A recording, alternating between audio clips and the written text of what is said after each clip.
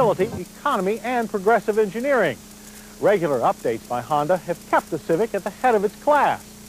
Now it's a new model year, and we have a new Civic design to show you. It's the most improved Civic to date. But can even Honda stay on top forever?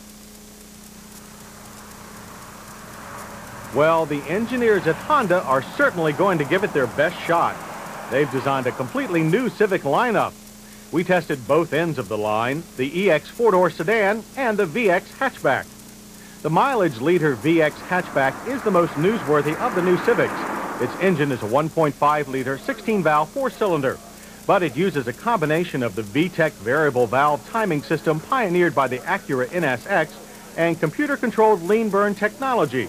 Together, they provide 92 horsepower, almost 50% more than last year's CRX HF motor, and EPA fuel economy ratings of 48 city and 55 highway.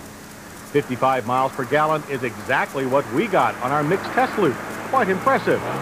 And the VX still managed a respectable 0 to 60 time of 9.6 seconds. Ran the quarter mile in 17.5 seconds at 77 miles per hour. On the downside, we did notice some hesitation under hard throttle. Also, VX models sold in California are less frugal since they don't have the lean burn heads due to that state's stricter emission laws. Like all 92 Civics, the hatchback is longer than its predecessor, with a longer wheelbase that minimizes front and rear body overhang. And it's all wrapped in handsome, rounded sheet metal. A rather unusual design feature is the two-piece tailgate, it's a gimmick, but can be useful for the occasional tailgate party. While the VX hatchback may be the Civic's mileage leader, it's the line's new four-door sedan that is likely to be the sales leader. With a wheelbase that is actually longer than the Toyota Camry, the new sedan has also been restyled. Its flowing lines give the steel compact dimensions a big European car look. And the spacious, feature-laden interior of our top-of-the-line EX Gray test car rivals that of its larger relative, the Accord. Like all Hondas, Civics now feature a driver's side airbag as standard equipment. The dash is now an ultra-clean design, but borders on stark. It does feature well-marked flush switches and a clear gauge package. We used to complain about Civic seats, but they have improved greatly in the last few years. Our Civic's front buckets offered comfort and support. All Civic sedans include a tilt steering wheel, and while the seats don't adjust for height, the seat belts do. The controls on our car's ventilation system were well marked and easy to understand, but didn't work as smoothly as past Civics.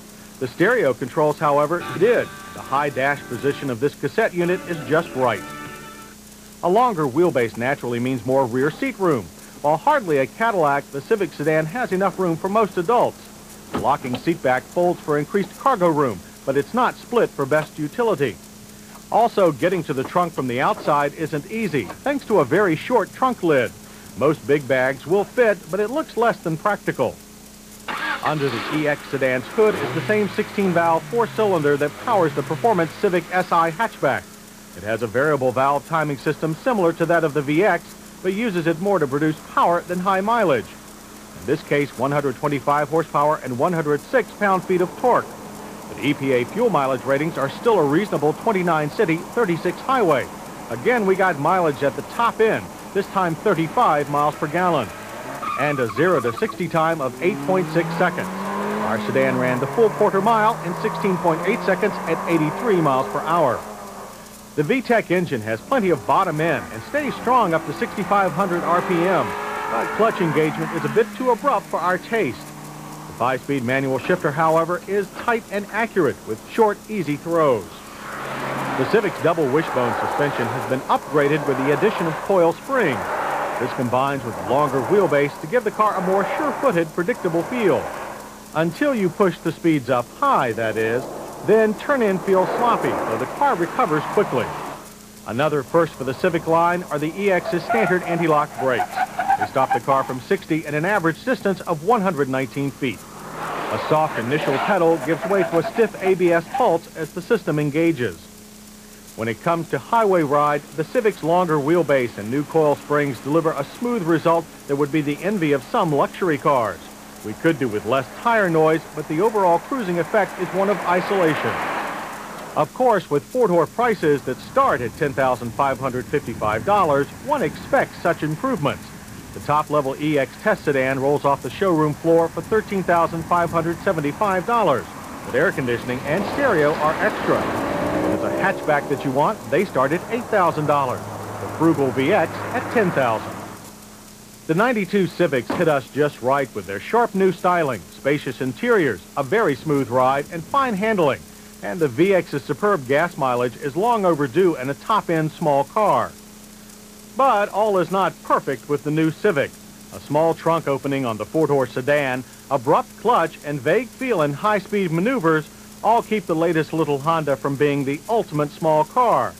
On that score, the new Civic is as close to perfection as a small car can get and still pique our interest. We suspect that a lot of other folks, including those that have never owned a Honda, will feel the same way.